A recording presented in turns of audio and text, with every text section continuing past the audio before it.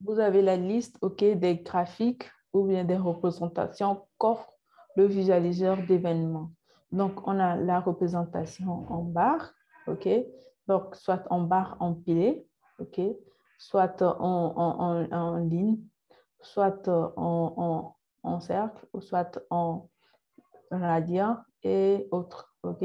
Donc, voici les types de représentations qui sont possibles dans le visualiseur. Ensuite, on a la partie de données. Donc, euh, dans la partie de données, vous pouvez voir que premièrement, vous avez le, la, partie de programme, OK? Donc, vous devez choisir euh, le programme et ensuite choisir les éléments. J'en reviendrai. Donc, les éléments importants ou bien indispensables pour la création d'un graphique, premièrement, vous choisissez le type de représentation que vous voulez. Ensuite, la donnée. Après, on doit passer à la période, la période sur laquelle la représentation ou bien euh, l'analyse se fera. Et ensuite, l'unité d'organisation, donc le choix d'unité d'organisation. Voici les trois éléments qui sont indispensables pour la représentation pour la représentation d'un graphique dans le visualiseur. Un instant, je vais vous montrer. Voilà. Euh, après, vous avez la possibilité ok, de, de, venir dans Favoris, ok, ouvrir pour avoir les graphiques qui sont déjà enregistrés. Soit vous avez la possibilité d'enregistrer ok, dans, le, dans, la partie Favoris pour revenir visualiser. ok. Vous avez euh, les options ok, ici dessous qui permettent de faire des ajustements sur le graphique qui est présenté. ok.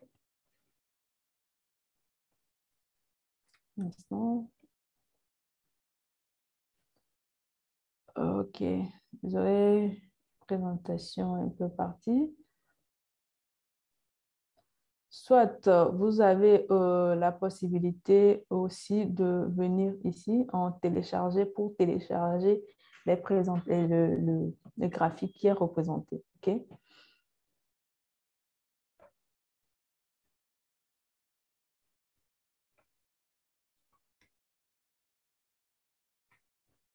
Ok, donc sans plus tarder, je vais commencer la création. J'espère que mon écran est visible. Donc, je commence par le graphique par défaut. OK, le graphique en, bâton, en barre, en barre qui est présenté ci-dessous.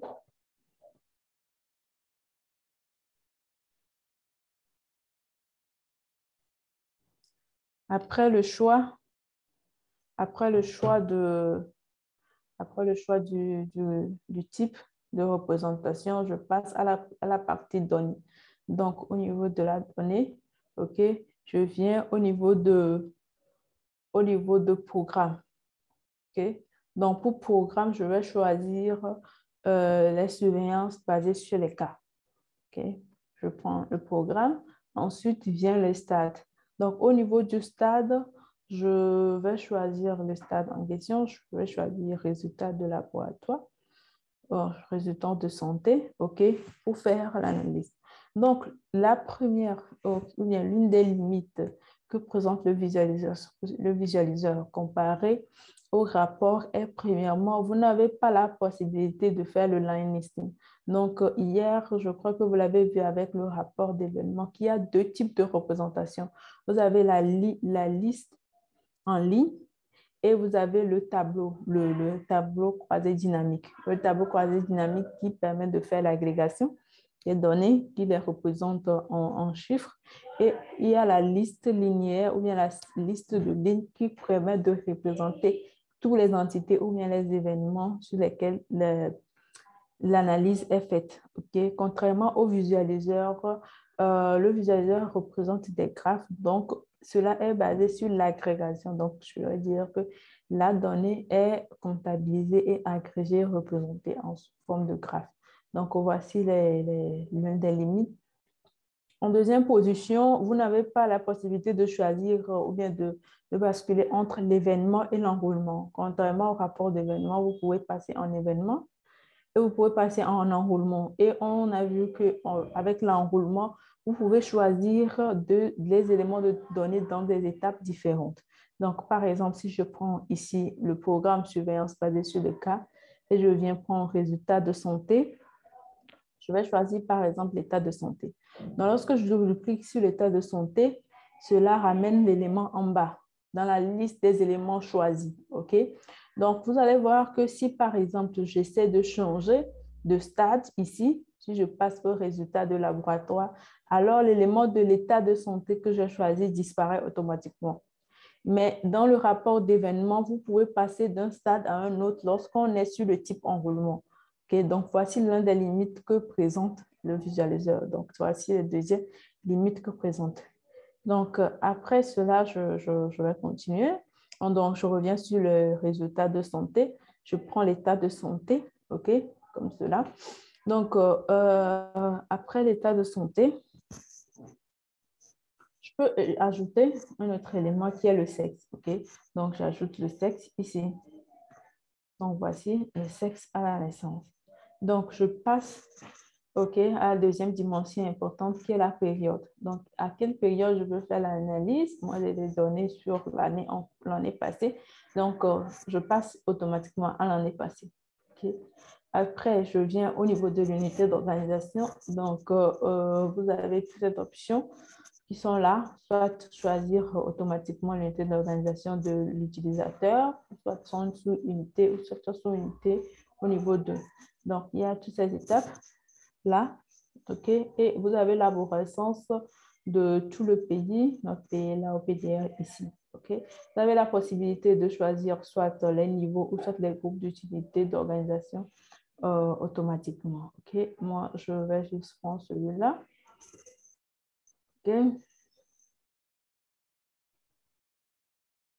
Et là, je vais cliquer sur mettre à jour, OK? Donc, lorsque je clique sur mise à jour, donc, j'ai une première représentation là. Donc, vous voyez, ça, c'est une représentation par défaut. Donc, sur euh, la barre horizontale, sur le repère horizontal, OK, j'ai euh, le, sexe, OK, qui est sur la barre horizontale. Et euh, au niveau de, l'axe, j'ai la donnée qui est représentée. OK.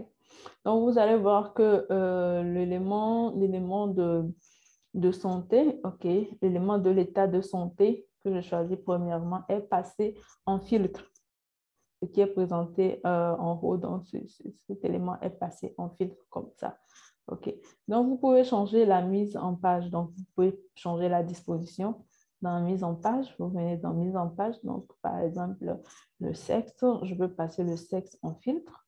Et je peux dire que c'est l'état de santé qui est important. Donc, je passe l'état de santé et je peux faire une représentation. Donc, cela, celle-ci présente maintenant euh, les états en bonne santé, guéris, décès et autres. Donc, là, je peux faire une meilleure interprétation. OK? Donc, je, peux, je reviens sur euh, mes données.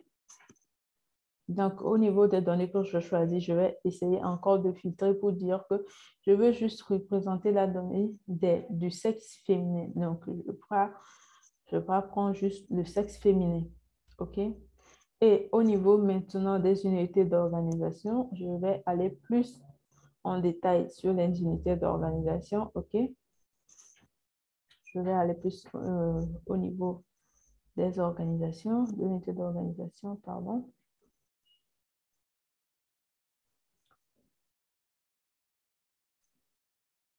Et par exemple, je vais choisir le niveau. Donc, je vais choisir le niveau et au niveau, je vais dire que je veux le niveau 2, OK? Le niveau 3, OK? Donc, euh, je reviens au niveau de, du type de graphique choisi et je vais prendre le graphique empilé, OK? Je vais prendre le graphique empilé et je vais essayer de faire une mise à jour pour voir une première représentation que cela m'offre. Donc, lorsque je clique, Euh, un instant, je laisse euh, s'actualiser.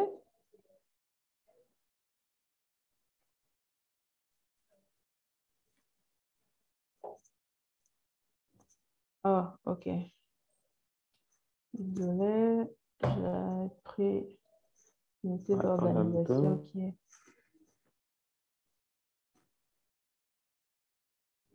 Ouais, au fait, l'unité d'organisation que j'ai pris est aussi trop. Donc, je vais juste prendre le niveau 2 pour ne pas avoir. Je vais juste prendre quelques unités d'organisation. Ok, donc je décoche le niveau 1 et je prends le niveau 2. Voilà. Donc, voici euh, une première représentation que cela m'offre. OK?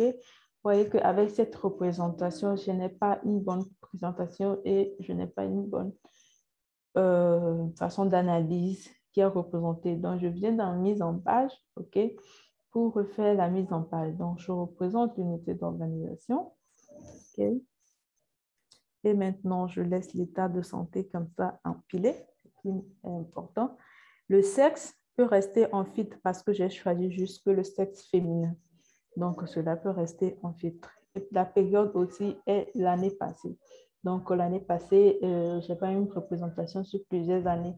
Ça peut rester aussi en filtre. Je fais une mise à jour et voilà, j'ai ça comme résultat. Donc, j'ai là la, couleur verte qui est en bonne santé et je vois le nombre de, personnes en bonne santé.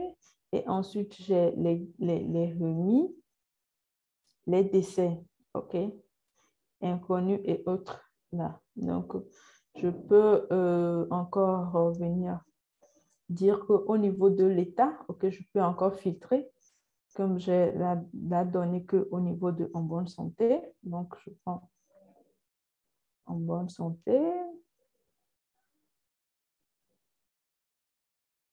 OK. Donc, euh, décès. Et c'est bon. Donc, je vais essayer de faire une représentation des trois. Voilà, c'est beaucoup mieux. OK. Euh, est-ce que vous m'entendez? Euh, allô? Vous m'entendez? Est-ce que vous avez... Oui, on entend, on entend bien. OK, merci beaucoup. Donc, voici euh, une autre représentation ok, que je peux faire avec le diagramme empilé, OK?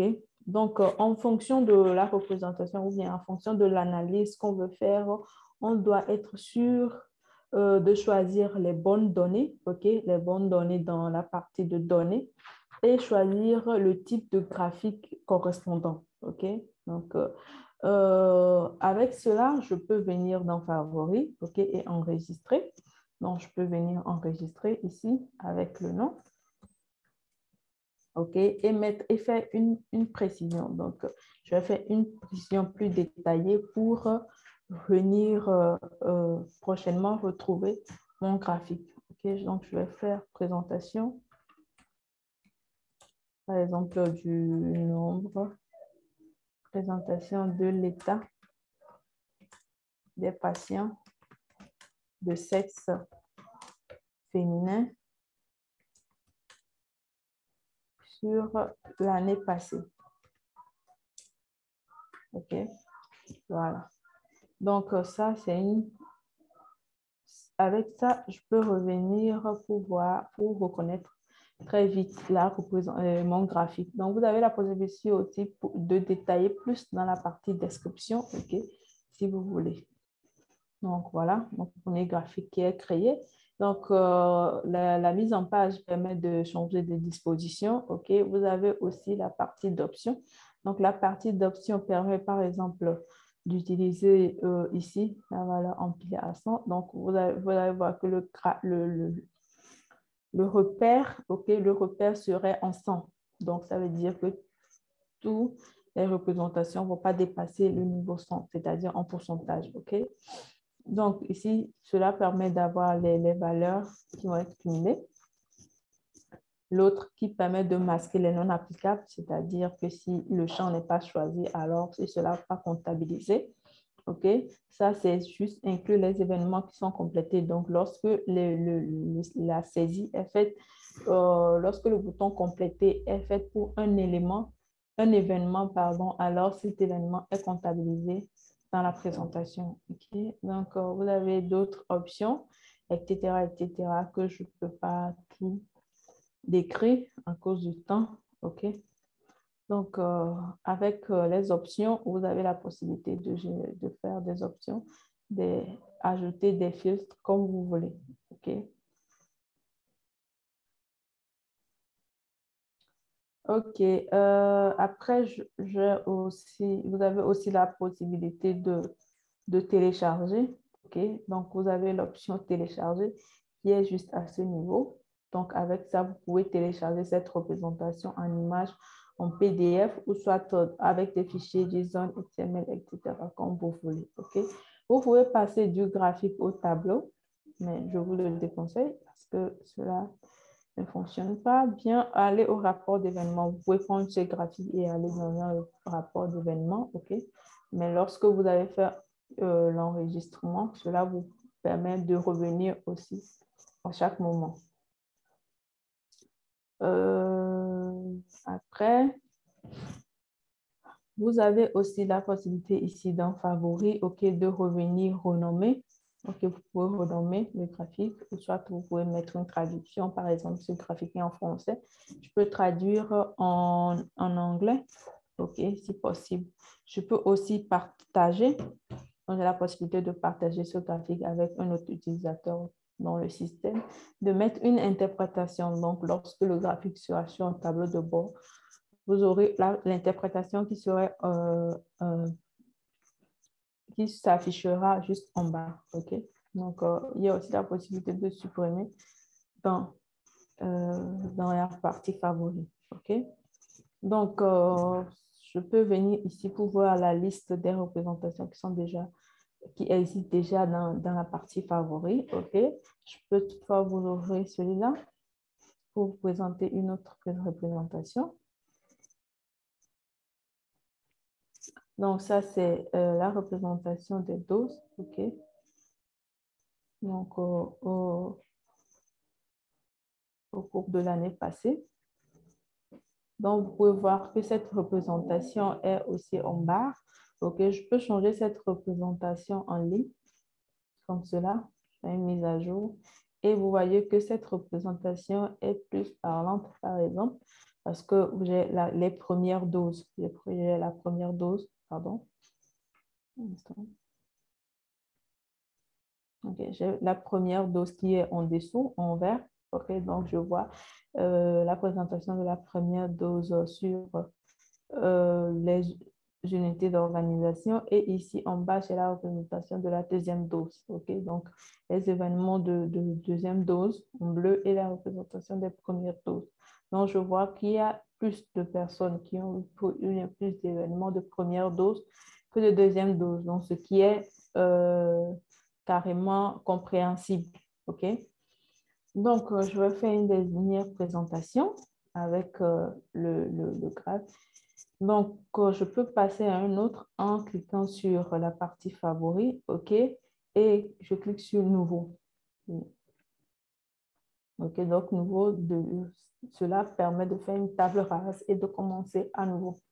Donc, euh, je prends cette fois-ci ce type de graphique.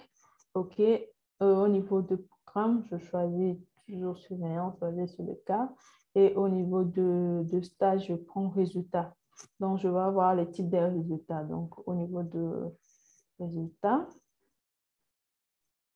hmm, je prends résultat des tests. OK. Donc, euh, je vais essayer de filtrer. Je vais prendre plus négatif, positif. Et Je vais prendre les trois. Au niveau de la période, j'ai les données pour l'année passée. Je prends l'année passée. OK. Et au niveau de l'unité d'organisation, euh, je reste sur le pays. OK? Donc, je vais cliquer sur mise à jour, mettre à jour pour voir la représentation que cela me propose par défaut. Donc, voici la représentation que j'ai par défaut. Donc, euh, euh, je viens dans mise en page. Donc, je ramène résultat ici et la période au niveau des séries. Je fais une mise à jour.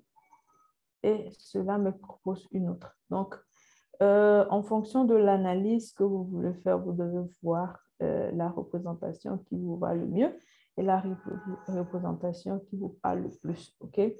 Donc là, je peux voir que euh, les noms concluants sont à 40,5 et les positifs sont à 9. OK? Donc, avec cette représentation, cela, cela suppose que je n'ai pas de, de, de, données négatives. OK? Mais lorsque je change de mise en page, comme ça, donc là, j'ai les noms, j'ai la partie, euh, j'ai la représentation, pardon, en fonction de, de, de la période, OK? OK. Pas décocher les 12 années. Donc là, j'ai la représentation en fonction de la période. Donc, euh, j'ai négatif et représenté uniquement en fonction de la période. Vous voyez. Donc là, euh, cela, ne permet, cela ne me permet pas une bonne présentation. En fonction de, la représentation que je veux, cela n'est pas significatif. Je veux plutôt présenter les, types de, résultats. Ok, donc je viens au niveau de la mise en page. Je ramène ça, la période ici. Je fais une mise à jour. Donc là, j'ai les types de résultats qui sont plus représentés. Donc, j'ai le nom concluant, positif et négatif qui est à 2.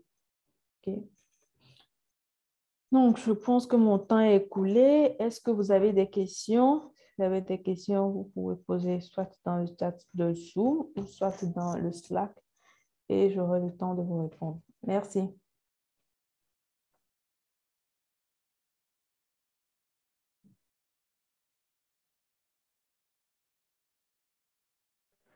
Merci beaucoup, euh, pour la présentation et ensuite la démonstration. Euh, je pense que pour ceux qui sont très nouveaux, il peut y avoir plusieurs options de plus, euh, mais nous savons que vous avez des BABA. Euh, mais toutefois, nous sommes aussi disponibles si vous avez des questions. J'en vois pas encore dans, dans le Slack. Euh,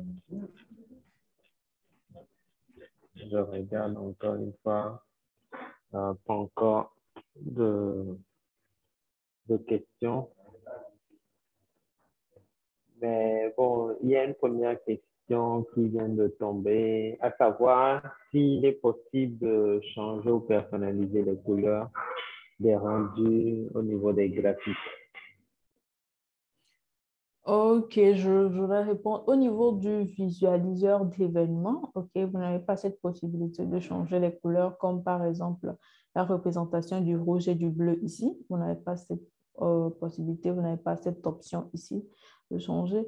Mais dans le visualiseur de données, oui. Dans le visualiseur de données, dans les versions du DHS de plus, récentes, vous avez la possibilité d'avoir de, les couleurs que vous voulez. Merci.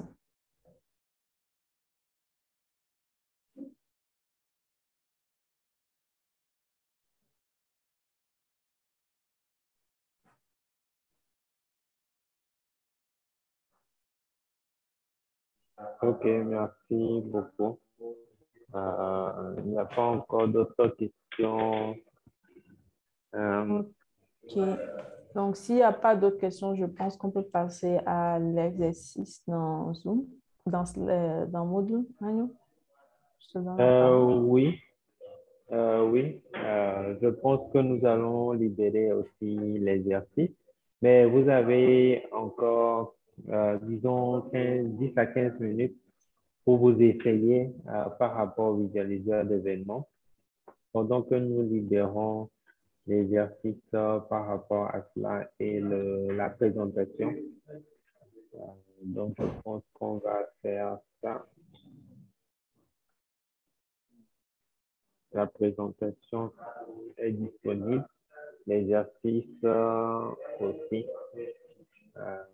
Donc, euh, vous pouvez prendre quelques minutes, une dizaine de minutes pour essayer encore le visualiseur d'événements. Euh, mais plus tard, quand vous allez essayer de faire les, exercices, vous allez voir ce que cela demande à ce que vous puissiez revenir ouvrir euh, le visualiseur d'événements afin de trouver la bonne réponse. Donc, ça, c'est aussi en même temps un exercice, la pratique, ainsi de suite. Donc, je pense qu'on se retrouve dans une dizaine de minutes. OK, parfait.